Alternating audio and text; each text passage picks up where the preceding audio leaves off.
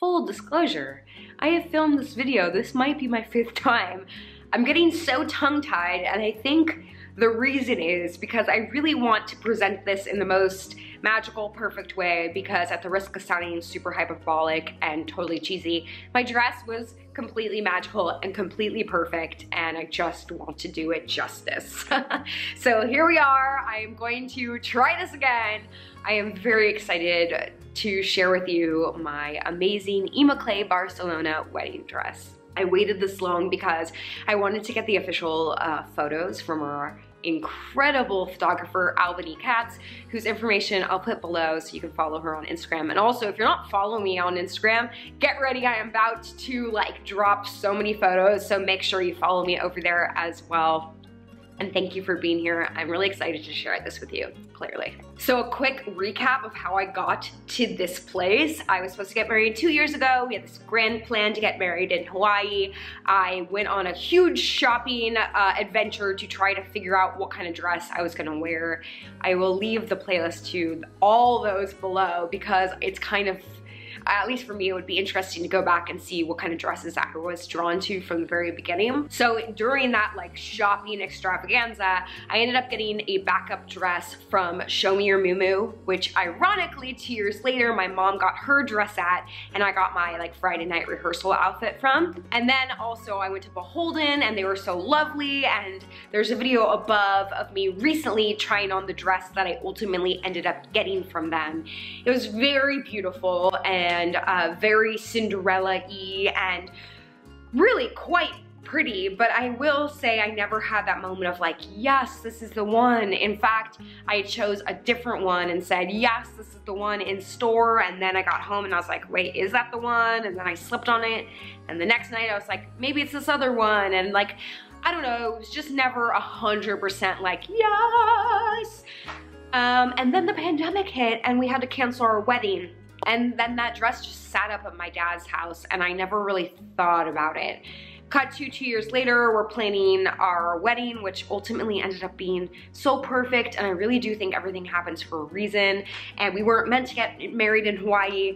Um, this was where we were meant to get married and this is how we were meant to get married and with the people etc etc there'll be one more wedding content video coming soon now that we have this great uh, collection of photos. I feel like it would be really fun to do kind of like a more in-depth walkthrough of everything we did and all the vendors we used and show you guys pictures and answer questions. So if you wanna see that, let me know for sure down below. Anyways, when it came time to thinking about what I was gonna wear, I like instantly knew I did not wanna wear the Beholden dress. And that dress was so kindly gifted to me that there was obviously a little bit of guilt not wearing it because that's me and I feel guilty about literally everything. Um, and so I knew I wanted to like figure out what the look was going to be for me and I just wanted something unique. I wanted something like that shouted Lisa and I just wanted to get that like feeling. Um, and I didn't know if that feeling was necessarily like going to happen or if that was just like a movie thing, but I was holding on to hope.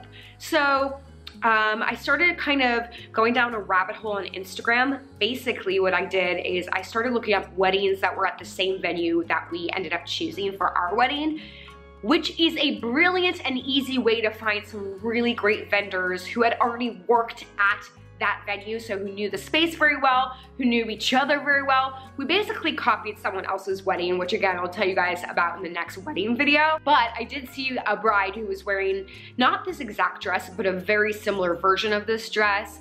And that's how I came upon Immacle Barcelona, the designer that I ultimately ended up going with. You guys shopped with me online. We basically window shopped Immacle's uh, full collection online and I'll leave that link above as well. And I don't remember if we actually saw this dress on there, if I like had clicked on or not. Um, but I quickly came to find this dress and quickly came to fall in love with it. And the process obviously was very interesting because they were located in Barcelona and I wasn't about to get on a plane, although they say many brides do do that, which is insane, but very cool.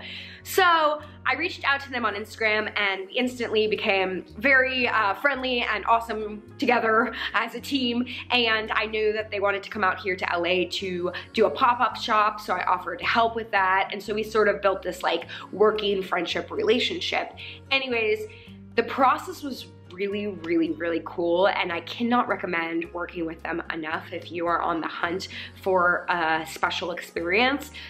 Basically what happened is I went on their website and I picked out about four or five different dresses that I wanted to see kind of like in person. And then we did a video like, I think it was Skype or it was something. Um, where we were able to video chat and I got to meet the designer and her lovely husband David and they showed me around the showroom and I kind of got to feel like I was like there in this amazing showroom that they have in Barcelona and they kind of like briefly walked me through some of their dresses and then they were like, well, let's set up a proper appointment. We would love for your mom to also be on Skype with us and we'll have one of our models come in and she can try on the dresses that you want to see like on. And at first I was like, I, I mean, I can see them in the picture. Like I, it feels like I didn't want them to have to like hire someone to come in to do that. Like, I don't know, I just felt like that felt like overkill, but I was like, you know what? They're suggesting it and they're kind of pushing it, so okay, and I'll have this experience with my mom. Now, here's a little bit of a bummer and I feel really bad about this. I recorded that session, that second one with the model on the other side and my mom and I watching and here's a picture of us, but I had an issue with my computer recently and I have lost the footage and I'm really quite heartbroken about that because I held on to that footage for quite some time and it was really special because the model had put on all the dresses and they were really, really beautiful and the model was gorgeous. And you know, it was actually amazing to see it in person rather than just a picture because you could really see how the dress moved. You could see how the dress went on. Then she put on the dress, my dress, and I cried. Like I straight up cried. Like I was like, that's the one and I cried. I was not expecting it. It was bonkers. I had the moment and it was perfect. And I was like, that just looks like me. Like that, it, I mean, the model didn't look like me. Jesus, I wish I looked like that model. She's gorgeous. But the dress like just literally screamed me. It was everything um, I didn't even realize I wanted and it was perfect. So from there, the next session, we uh, did another video chat and my mom measured me per Ema's request. So we, she literally like walked us through and she showed us how to do it on her model. And then my mom did it on me and my mom told me afterwards she was like so nervous that she was like gonna screw it up. It was like kind of a stressful thing, but it was real fun.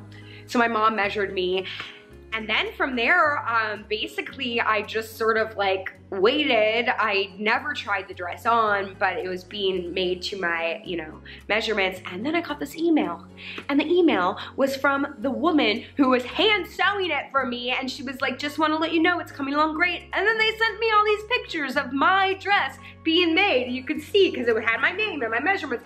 It was like such a pleasant surprise that I was like not imagining would happen. Just so many like fun, beautiful details uh, that Immacle does for the brides. And um, what happened next? Oh, okay, so then the pop-up was gonna happen. So they sent me a shipment of all of their dresses uh, for me to hold on to. So when they came out here, I could pass off all those dresses and also make a video of me trying on all their collection which I did, and you guys can see above, but I did not try on the dress, and I didn't want to even unbox the dress, so I never opened it, but I think it was in the suitcase, like the sample of my dress, but I didn't want to like see it, and I didn't want to spoil the experience for myself.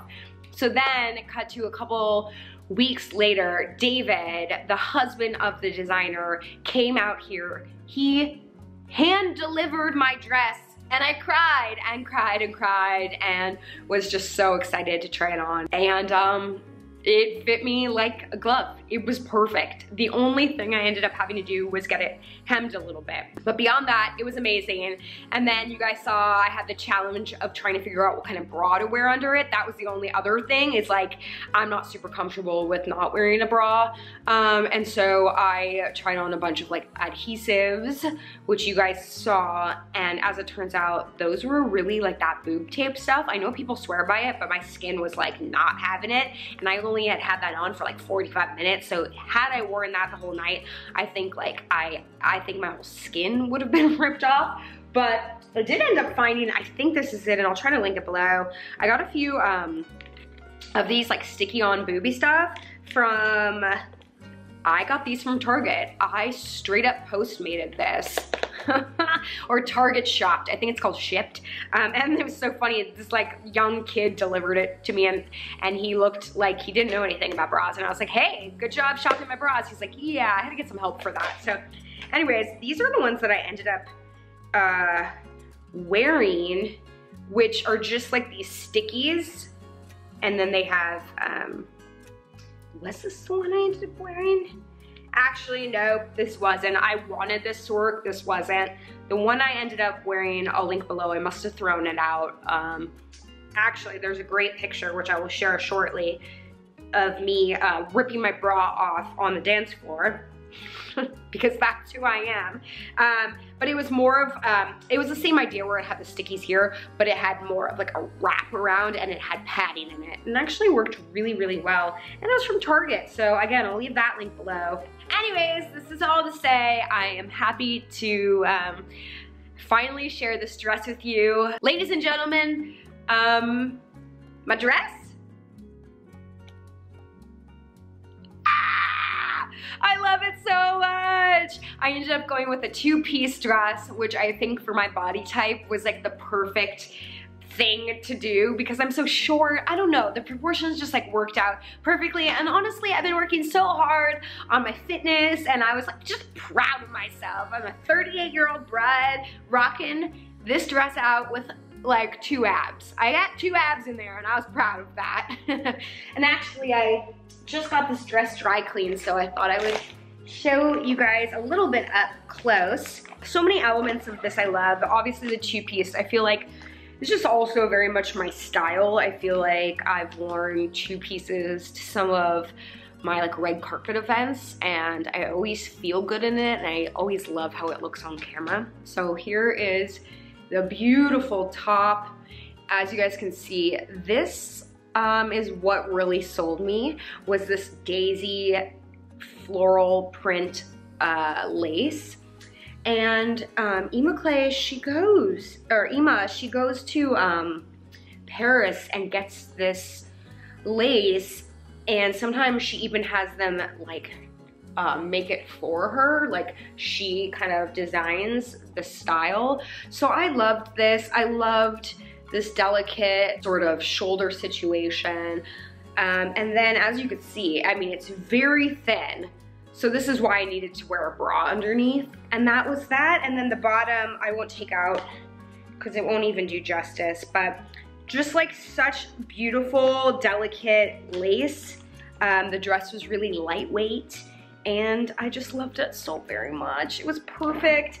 And now I don't know what to do with this because I don't want to just have it hang in my closet forever. I do kind of want to like wear it again, which I know maybe is weird, but that top I can wear all the time. And I felt like the skirt, I guess I will just leave it as a skirt, but part of me was like, should I make it pants?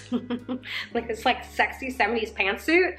Um, I don't know, I don't know. But again, I'll post a million bajillion pictures because I just like loved it so much. And I ended up pairing it. You guys saw this week, I showed you my shoes. Uh, if you missed that up here, I'll, up here, I always forget.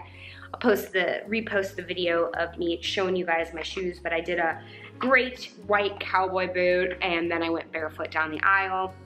And then at nighttime it was cold, so I paired this dress with a um, thredUP faux fur jacket and I'll try to find something similar and look up the brand for you, but it fit me like a glove. I think it was a petite size, so like everything actually fit me. It was amazing and I got it for very cheap.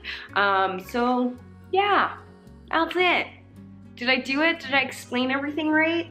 Trying to think if there was like any more details. I mean, just again, like the the customer service that was Immacle was like so amazing um, with the letter that came, with the pictures. Oh, and even before they started making my dress, the dressmaker like emailed me to introduce herself. Like just the whole thing was just so magical and perfect. Oh, and like everyone that saw me in the dress, even like my uh, seamstress who uh, shortened it for me, who I've been going to for years, she was like, this is just so you. And all my friends were like, that dress is just so you. Like there was no question that this is the dress that was meant for me and the wedding that was meant for me, and the husband that was meant for me.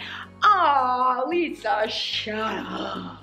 Anyways, I'm happy that I finally get to share it with you guys. Thank you so much for going on this dress journey with me. And um, yeah, and happy day 11 of Vlogmas. Oh my gosh, I'm actually really just having so much fun doing this with you guys, so. Thank you for everything, and I'll see you Monday. Make sure you follow me on Instagram. You're about to get inundated with so many dress pictures. Okay, thanks guys. I love you.